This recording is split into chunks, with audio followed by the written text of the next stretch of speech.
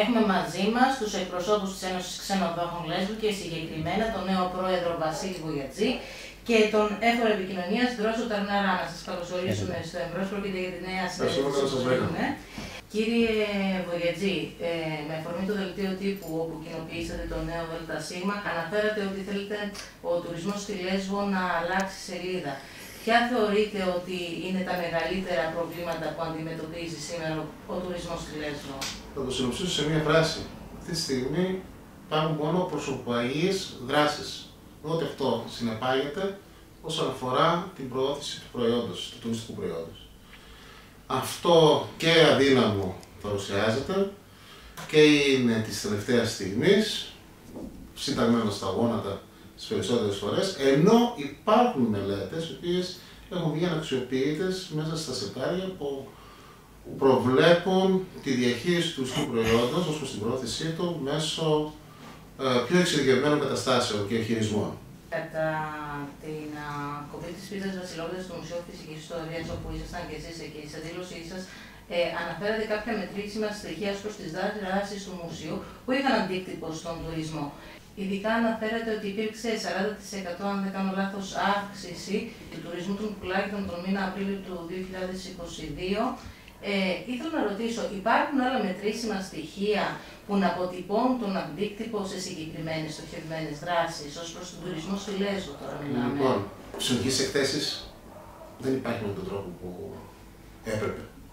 Και μάλλον πρέπει να πούμε ότι ίσως δεν υπήρχε καθόλου σε κάποιες αγορές που μας ενδιαφέρουν να είμαστε. Για αυτή που ήταν στοχευμένη δράση και μετά από 20 χρόνια καταφέραμε να κλείσουμε λόγω πανδημίας ένα περίπτερο να κλείσουμε, λέω, το βάζω σε πρώτο πληθυντικό, γιατί είναι μια ομαδική προσπάθεια η προώθηση του τουρισμού. Το Μουσείο Φυσικής Ιστορίας του Βυθμένου Δάσου στη Λέσβο κατάφερε και έκλεισε ένα περίπτερο στην πλέον εξειδικευμένη ε, έκθεση για εναλλακτικό τουρισμό όσον αφορά την ηθοπαρατήρηση, το birdwatching. Αυτό συνέβη μετά από 20 χρόνια, όπως είπα πριν. Έγιναν στοχευμένες ομιλίες από την κυρία Γαλλινού, από άλλο, το ενδιαφέρει το άλλο όνομα που έκανε ομιλία ω προ το bird watching στη Λέσβο, το οποίο ακούστηκε από πολλούς ανθρώπους οι οποίοι έχουν είτε ένα απλό ενδιαφέρον για bird watching, το χόμπι τους, είτε είναι εξειδικευμένοι επιστήμονες και ασχολούνται με τα πουλιά καταγράφοντας όλη τη ζωή τους γενικά στο φυσικό τους περιβάλλον. Το feedback αυτό που λάβαμε από τους παρόντες σε αυτές τις ομιλίες ήταν μία αναμενόμενος και μας έδωσε μεγάλη χαρά γιατί λαμβάναμε ένα email και έλεγε Μπράβο σας, το... έγινε μια πολύ εξειδικευμένη παρουσίαση τη Λέσβου στη... για τον Ε, αυτό αποτυπώνεται μέσα από την ευκαιρία που διοργανώθηκε το πτήσεις πριν τις 25, ε, ε, πριν την 1η Μαΐου και το δεύτερο ήταν ότι δόθηκε το ενάσμα ότι υπάρχει ξανά η Λέσβος. Δηλαδή η τελευταία μας παρουσία σε έκθεση ήταν το 2008. Και μετά δεν μπορούσαμε να βρούμε περίπτωμα. Τώρα αυτό το περίπτωμα, αν θες το κρατήσεις, πρέπει να πεις την κράτηση. Πρέπει να πληρώσεις την ε, κράτηση του περιπτέρου και πρέπει αυτά τα κονδύλια που βγαίνουν από την περιφέρεια να έχουν γρήγορα τα αναγκαστικά. Ή δεν χάνεται. Ε, δεν μπορεί να είμαστε φέτος και να μην είμαστε του χρόνου. Η Περιφέρεια Βορείου Αιγαίου να έχει κατά καιρούς ε, συμμετοχές σε εκθέσεις. Θεωρείτε από αυτά που λέτε τώρα και από αυτά που καταλαβαίνω ότι δεν είναι στοχευμένες και δεν έχουν αποτέλεσμα. Και εμείς τι θέλουμε, πώς θέλουμε να γίνονται αυτές οι εκθέσεις ούτως ώστε να έχουν πραγματικό αποτέλεσμα; Το πρώτο πράγμα που πρέπει να γίνεται ε, πριν τη συμμετοχή μας σε μια έκθεση είναι η προετοιμασία.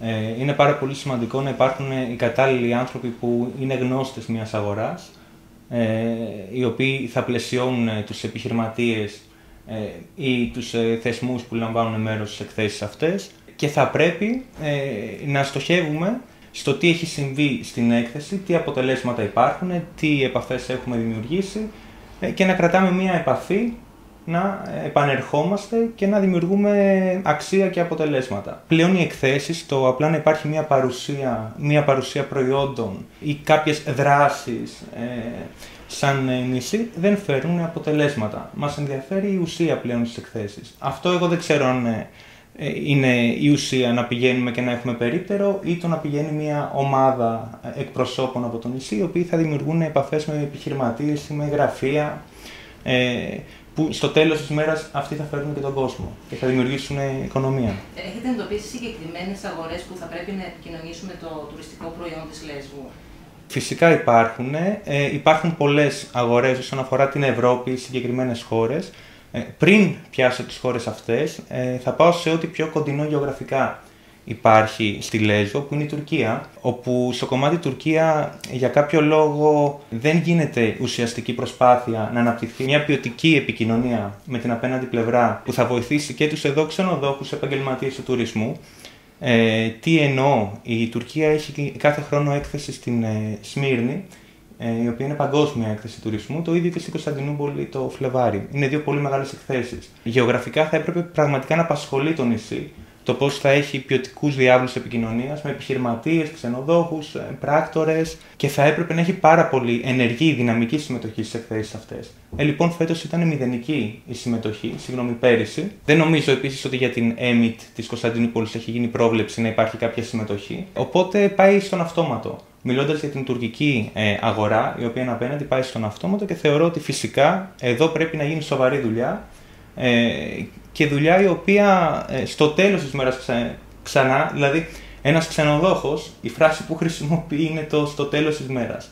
Κάπως έτσι πρέπει να βλέπουμε τα πράγματα. Στο τέλος της μέρας η ουσιαστική μας συμμετοχή και η καλή δουλειά ε, με την τουρκική αγορά θα φέρει αποτελέσματα. Θα φέρει τζίρο, ε, θα φέρει ποιοτικό κόσμο, υπάρχει πεδίο λαμπρό, ε, απλά χρειάζονται άνθρωποι οι οποίοι έχουν αντίληψη της αγοράς, γιατί είναι μια δυναμική αγορά που θα βγάλουν το καλύτερο δυνατό αποτέλεσμα. Όσον αφορά την Ευρώπη, πρέπει να πούμε ότι αυτή τη στιγμή λείπουν από τη Λέσβο η Γερμανία, η Γαλλία, η Ιταλία, η Ελβετία, η Αυστρία. Δεν έχουν σύνδεση. Δεν υπάρχει ούτε ένα τσάρτερ. Δεν υπάρχει ούτε ένας άνθρωπος ο οποίος μπορεί να έρθει με μία πτήση. Αυτό θα πρέπει να το επικοινωνήσουμε με κάνοντας κάποια βήματα. Θεωρώ ότι σε πρώτη φάση είναι καλύτερα να το ξε... να ξεκινήσουν κάπως αλλιώς και όχι με συμμετοχή στι εκθέσεις, αλλά να καταφέρουμε μέσω μαζί με του πράκτορε, γι' αυτό και έχουμε και συνάντηση με τους πράκτορες, πάμε να δημιουργήσουμε ένα ενιαίο μέτωπο απέναντι στο, σε όλους αυτούς που προβάλλουν τη Λέσβο. Θέλουμε ένα κοινό συμφέρον, πράκτορες και ξενοδόχοι να είναι μαζί, ώστε να ε, ενώσουν τις φωνές μας και να έχουν μια φωνή αντίδρασης για το καλό όλων μας. Θέλουμε να ξεκινήσουμε την ε, προσέλκυση fan trips τι είναι αυτό ακριβώς; Το fan trips είναι γκρουπάκια που αφορούν πράκτορες, παύλα πολιτές, tour operators, οι οποίοι θα έρχονται γκρουπαριστά με ένα πλάνο για μια εβδομάδα, θα φιλοξενούνται κατά τόπους σε διάφορα ξενοδοχεία, ώστε με το πέρας της ημέρας όλοι να έχουν γνώση το τι πρόκειται να πουληθεί στο κοινό που θα απευθυνθούν είτε στη Γερμανία, είτε στην Ιταλία, είτε στην Γαλλία, είτε στην Αυστρία, είτε στην Ελβετία ή οπουδήποτε αλλού καταφέρουμε να ε, διοργανώσουμε ε, τέτοια groups. Αυτά χρειάζονται χρήματα τα οποία θα πρέπει να βοηθήσουν οι φορείς του τόπου και εμείς δεν μένει σαν ξενοδόχοι θα παρέσχουμε μια φιλοξενία δωρεάν αλλά για να έρθει το αεροπλάνο χρειάζονται χρήματα. Ε, όλα αυτά πρέπει να επιδοτηθούν, όλα αυτά πρέπει να ε, συνυπάρξουν μαζί με την ιδιωτική πρωτοβουλία που θα υπάρξει στο εγγύς μέλλον. Θεωρώ ότι ο Μάιος και ο Ιούνιος θα είναι πολύ κομβικοί μήνες για το μέλλον του τουρισμού στη Λέσβο το 2024 προηγούμενη χρονιά, μετά από μια διετία πανδημίας, παρατηρήθηκε μια επανάκαμψη του τουρισμού. Ωστόσο, δεν είχαμε τα επιθυμητά αποτελέσματα στη Λέσβο. Αυτό που θεωρείτε ότι οφείλεται; Πρέπει να φέρουμε την Λέσβο εγκύτερα στην, στην υπηρετική Ελλάδα. Πώς μπορεί να γίνει αυτό; Αυτό μπορεί να γίνει με το πέρας των εργασιών του άξονα Σίγρη Μητυλίνη και την ενεργοποίηση του ολοκληρωμένου πια λιμένα Σιγρίου. Πρέπει οπωσδήποτε να γίνουν δρομολόγια πλοίων τα οποία θα ξεκινάνε από τη Ραφίνα, ξεκινάνε από τον Βόλο, ξεκινάνε από τη Θεσσαλονίκη, από την Αλεξανδρούπολη. Από την Αλεξανδρούπολη ειδικά μπορούμε να προσεγγίσουμε και βαλκανικούς τουρίστες. Οι Βαλκανικοί. Μπορούμε να φιλοξενήσουμε ακόμα και ακόμα, θα σας πω έτσι ένα τελευταίο που ψάχνω το τελευταίο καιρό είναι όταν γίνει με το καλό Αμερικανική βάση ακόμα και Αμερικανούς στρατιώτες με τις οικογένειές τους. Μπορούμε να κάνουμε πολλά πράγματα, αλλά πρέπει η Λέσβος, ο χρόνος μετάβασης, ειδικά με το πλοίο, να είναι ε, πιο σύντομος. Αυτό θα επιτευχθεί μόνο αν αξιοποιήσουμε το λιμάνι του Σιδηρίου. Και αυτές οι μέρες δεν αργούν, θέλω να πιστεύω, γιατί ακριβώς ακόμα και οι εφοπλιστές θα το ζητήσουν, γιατί έχουν πολύ μεγάλη οικονομία στο καύσιμο, πολύ μεγάλη οικονομία στο δρομολόγιο, θα μπορούν να συνδυάσουν τα δρομολόγια τους με άλλα κοντινά δρομολόγια στις κυκλάδες που τους αφορά όσον αφορά τη γεωδοφορία που κάνουν και σε αυτές τις γραμμές. Οπότε θεωρώ ότι εάν εμείς καταφέρουμε να θεσμοθετήσουμε τέτοια δρομολόγια, τότε το νησί θα βλέπει μόνο καλύτερες μέρες και θα είναι προορισμός του Σαββατοκύριακο, ειδικά η Ερεσό και το Σίγρη, σε κάποιες νεκρές περιόδους της σεζόν που θέλουν να δουλέψουν το Σαββατοκύριακο, θα παρουσιάζονται ως προορισμοί τριημέρου. Οπότε αυτό που καταλαβαίνω είναι ότι ο πυλώνας σύνδεσης είναι ένας βασικός πυλώνας για την ανάπτυξη του τουρισμού. Ε, Ωστόσο, βλέπουμε κάποιες αεροπορικές εταιρείες να κόβουν τα δρομολόγια τα Σαββατοκύριακα. Ειδικά το χειμώνα. Αυτό, αυτό είναι Aegean. Ναι. Εντάξει, αυτό Aegean, εντάξει, βλέπει όσο πληθυσμό έχει και ανάλογα στην κίνηση θα κοιτάξει του συμφέροντε. Αυτό δεν είναι ένα πρόβλημα σοβαρό. Το θέμα είναι να επανέρχεται ο αριθμός των πτήσεων το καλοκαίρι. Εφόσον είναι βιώσιμη η γραμμή, θα δουλεύει. Και θεωρώ ότι είναι βιώσιμη και δεν έχει πρόβλημα όσον αφορά τη σύνδεση με την υπηρετική Ελλάδα αεροπορικά. Αλλά ναι, μεν έχουμε το αεροπλάνο, αλλά όλοι μας ξέρουμε ότι παραδοσιακά ο, ο Έλληνας θέλει να πάρει το αυτοκίνητό του, να μπει στο πλοίο και να έρθει. Το fly and drive, αν θέλετε, δεν είναι πολύ διαδεδομένο στον Έλληνα τουρίστα, που μπορώ να πω, αν εγώ φιλοξενήσω 500 τουρίστες, ζήτημα έναν 4-5 θα κάνουν ένα fly and drive αυτή τη στιγμή. Αν και είναι πολύ πιο συμφέρον να ταξιδέψουν με το αεροπλάνο. Αλλά επειδή ο κύριος όγκος των τουριστών που έρχονται στη Λέσβο έρχονται με το πλοίο από την Ελλάδα, πληθυντική Ελλάδα, εμείς πρέπει να βρούμε τον τρόπο να συντομεύσουμε το ταξίδι. Το ταξίδι συντομεύει μόνο έτσι.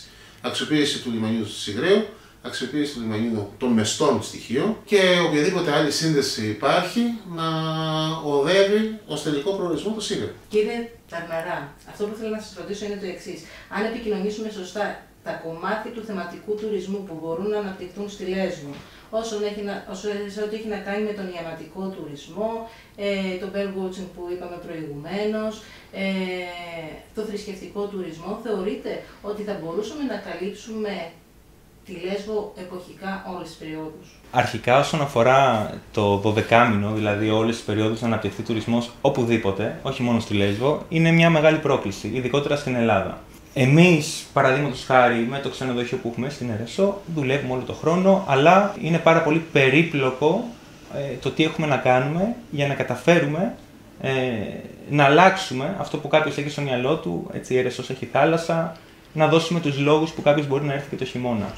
Ε, συμφωνώ ότι ναι, η εποχικότητα μπορεί να καταπολεμηθεί με το να υπάρχουν ε, ε να, αναπτυχθεί ο θεματικός τουρισμός. Σίγουρα ο ιαματικός τουρισμός είναι ένα κομμάτι ε, αυτής της προσπάθειας. Είναι πάρα πολύ ωραία η ερώτηση, μου αρέσει αυτό που λέτε και φυσικά ε, πρέπει να επενδύσουμε σε αυτό. Όμως, για να γίνει αυτό, όμως, για να υπάρχουν αποτελέσματα, πρέπει να γίνει η διαχείριση του προορισμού σοβαρά από έναν, από έναν και όλοι μαζί να στηρίξουν αυτόν τον έναν και με κόπο και χρόνο να αρχίζει να χτίζεται αυτή η προσπάθεια. Η Λέσβος είναι ένα νησί που μπορεί να τα καταφέρει. Χρειάζεται να πιστέψει στον εαυτό της, να αποκτήσει εξωστρέφεια.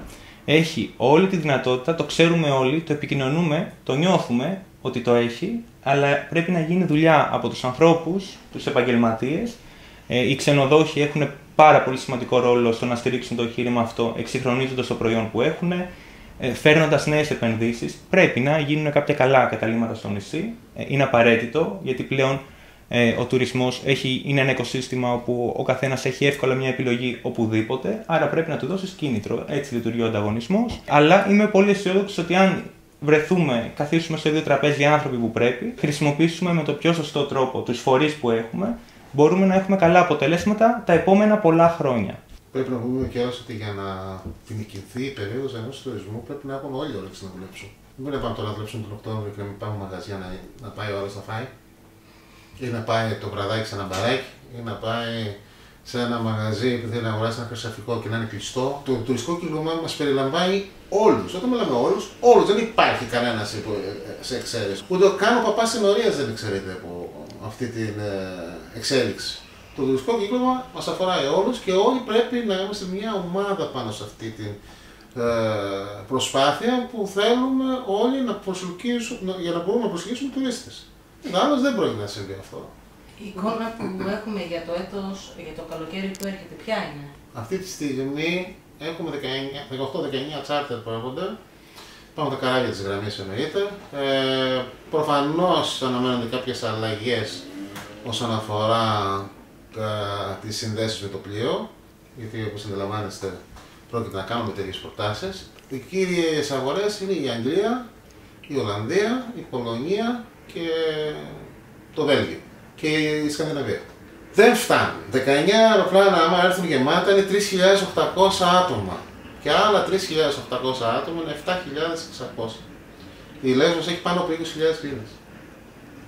Καταλαβαίνετε ότι ο κόσμος που θα φιλοξενηθεί σε πρώτη φάση είτε θα γεμίσει θεματικά κάποια ξενοδοχεία, βλέπετε bird watching που κυρίως γεμίζουν από τα ξενοδοχεία αν θέλετε της σκάλας κανονής, αλλά όσο προχωράει η σεζόν, αν δεν υπάρξει ε, ο ερχομός τουριστών από την Ελλάδα, από την Τουρκία, από τις κοντινές αυτές αγορές που είναι flexible, είναι δηλαδή ο Έλληνα αποφασίζει την τελευταία στιγμή. Ο Τούρκος θα έρθει επειδή ακριβώς υπάρχει ένα δρομολόγιο, υπάρχουν δύο δρομολόγια που επιδοτούν αυτή την κίνησή τους κλπ. Έχει καλώς πάει μέχρι εκεί. Και πήγε πέρα, όσοι αν θέλετε έχουν καλή φήμη πελατεία, καλές υποδομές, έχουν προβλέψει να κάνουν κάποιες συμφωνίες. Αυτοί σίγουρα θα δουλέψουν πολύ περισσότερο από κάποιους άλλους. Συνοπτικά, ποια είναι τα βήματα που θα πρέπει να προηγηθούν, ώστε να πετύχουμε να γεμίσουν αυτές οι 20.000 κρίνες; Το πρώτο και το σημαντικότερο είναι να ε, βρεθούν διαφορετικά μέρη, δηλαδή η Ένωση Ξενοδόχων, ε, με τους πράκτορες, ε, με τους επαγγελματίες επίσης που είναι στο επιστηστικό κομμάτι, με την περιφέρεια, με όλους και να συμφωνήσουμε όλοι στο πώς ε, θα επικοινωνήσουμε το νησί. Όλοι. Πρέπει να είμαστε όλοι στην ίδια γραμμή. Δηλαδή, ο ξενοδόχος έχει το ξενοδοχείο, ο πελάτης όμως ε, για να έρθει, θα έρθει για το ξενοδοχείο βεβαίως, αλλά θα θελήσει να φάει κάπου καλά. Πρέπει να υπάρχει κάποιο καλό εστιατόριο. Ε, χρειάζεται να υπάρχει ο επαγγελματίας δηλαδή στο επιστηστικό κομμάτι που θα παρέχει εμπειρία. Χρειάζονται τα τουριστικά γραφεία να αναπτύξουν δραστηριότητες, εμπειρίες. Χρειάζονται πάρα πολλοί άνθρωποι να δουλέψουν για να φτάσουμε να έχουμε κάτι ποιοτικό και μετά να συζητάμε για τα ωραία νούμερα που θα έρχονται. Επίσης, ε, διαπραγματευτική δύναμη για έναν προορισμό είναι ότι όταν τα αναπτύξει όλα αυτά μπορεί να πάει να βρει έναν tour operator και να τον πείσει με την ποιότητά του και με την εμπειρία που μπορεί να παρέχει ότι αξίζει να φέρει κόσμο εδώ. Έτσι αναπτύσσεται ένας προορισμός. Αν δεν κάνω λάθος, η Περιφέρεια Βορείου Αιγαίου το καλοκαίρι που μας πέρασε έχει ανακοινώσει την δημιουργία ενός φορέα ε, όπου θα περιλαμβάνονται μέσα ξενοδόχοι όλοι. Αυτό δεν λειτουργήσε στην πράξη. Μα είναι άγνωστο.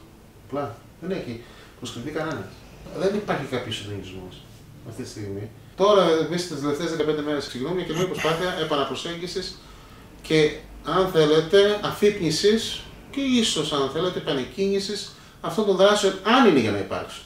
Θα υπάρξουν, θέλουν, θέλει η πολιτική αρχή, ε, αρχή να μιλήσουμε πια επαγγελματικά ή θέλουμε να κάνουμε απλά πολιτική. Γιατί αν δεν θα κάνουμε πολιτική δεν πάμε πουθενά. Δεν θέλω να αφήσω άλλο τα πράγματα στην τύχη τους. Και γι' αυτό ακριβώς είμαστε ένα συμβόλαιο νέοι άνθρωποι, όλη η Ένωση Ξενοδόχων αυτή τη στιγμή, που θέλουμε και τα μέλη να γυρίσουν κοντά στην Ένωση που έχουν ε, αδρανήσει. Θέλουμε να πάμε με ένα γέο μέτωπο με την Ένωση Πρακτόρων.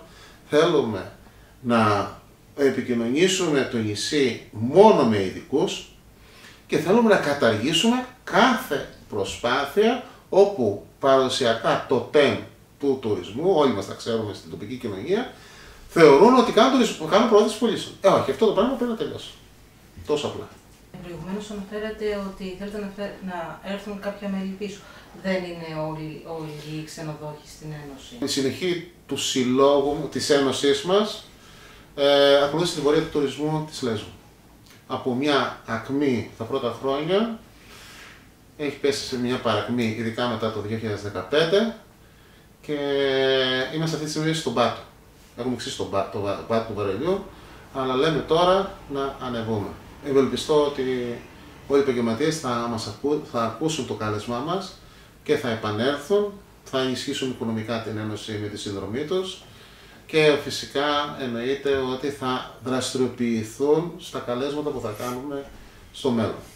σε ό,τι έχει να κάνει με τα αγροτικά προϊόντα του τόπου μας. Αυτά πώς παρουσιάζονται μέσα από τα ξενοδοχεία; Όπως είπα πριν, στο τουριστικό κύκλωμα συμμετέχουμε όλοι. Ίσως να μην έδωσα την έμβαση, αλλά πρέπει να πούμε ότι στο τουριστικό κύκλωμα συμμετέχουν όλες οι μεταποιητικές επιχειρήσεις της Λέσβου και ειδικά αυτές που αφορούν το, την παραγωγή γαλακτομικών προϊόντων. Οι ανατιμήσεις που έχουν γίνει το τελευταίο καιρό επηρεάζουν την αυθεντικότητα του σέρβις. Τι εννοώ με αυτό; Μέχρι πρόσφατα, μέχρι το περασμένο καλοκαίρι ειδικά, ξενοδοχεία που είτε είχαν την πιστοποίηση του ελληνικού πρωινού, είτε είχαν εντάξει στη φιλοσοφία του σέρβις τους την παροχή πρωινού με τοπικά προϊόντα, αυτή τη στιγμή απειλούνται, απειλείται η αυθεντικότητα αυτή του σέρβις. Τι εννοώ; Η φέτα είχε ξεκινήσει από το 2019 στο 5,80 το κιλό. Η τελευταία αγορά το Σεπτέμβριο ήταν 7,20 και αυτή τη στιγμή είναι 12,5 ευρώ. Το λαδοτήρι έχει 16,5 ευρώ. Μπορώ να σας πω, βασιζόμενοι στα στατιστικά που κρατάω στο δικό μας ξενοδοχείο και κάνοντας μια αναγωγή, απλοϊκή ίσως, αλλά νομίζω ότι δεν απέχει πολύ από την πραγματικότητα, στη Λέσβο καταναλώνονται από όλες τις επιχειρήσεις του νησιού από τα ξενοδοχεία γύρω 40 τόνους, άμα πάμε και τα και εστιατόρια κλπ. 55 με 60 τόνους φέτα, μόνο φέτα, χωρίς να λογαριάσουμε τα τυριά ε, γραβιέρα ή λαδοτήρι κλπ. Ε, αυτό θα το χάσει η τοπική κοινωνία. Και θα το χάσει λόγω της ακριβής τιμής. Θεωρώ ότι ε, οι τυροκόμοι πρέπει να κάτσουν στο τραπέζι μαζί με τους κτηνοτρόφους, να βρουν μια χρυσή τομή ως προς την τιμή του γάλακτος, να βρουν μια χρυσή τομή ως προς την διάθεση του προϊόντος και να κοιτάξουν να κάνουν κάποια καλύτερη τιμολόγηση στις τοπικές επιχειρήσεις γιατί δυστυχώς αν, αυτό, αν αυτοί επιμείνουν στη σημερινή τιμολογική πολιτική θα με συγχωρέσετε, αλλά αυτοδίκαια ο καθένας ξενοδόχος, χωρίς να υπάρχει συντονισμός από την Ένωση, εννοείται, δεν θέλουμε εμείς το κακό κανενός, αλλά θεωρώ ότι κανένας θα, θα δει το συμφέρον του και θα αγοράσει φτηνότερα προϊόντα που ίσως στην τελική να μην είναι λεσβιακά. Ποιο είναι το στοίχημα που έχουμε βάλει στα νέα ΔΣ; Θέλουμε μέχρι 31 Τρίτου να παρουσιάσουμε ή ένα μεγάλο άλμα ή 4-5 μικρά βήματα προς την πρόοδο του τουρισμού. Θεωρώ ότι το επόμενο 20 είναι κρίσιμο, καθότι προβλέπονται πολλές συναντήσεις και με τους τοπικούς φορείς και με τους φορείς της κυβέρνησης στην Αθήνα. Ε, θα έχει υπάρξει ενημέρωση. Εάν όλα αυτά ε, γίνουν με τον σωστό τρόπο και αν βέβαια υπάρξει η θετική ανταπόκριση με πράξεις, όχι με λόγια, από όλους μας, τότε 32 Μαρτίου θα μπορούσαμε να ανακοινώσουμε στα μέλη μας ένα καλύτερο αύριο.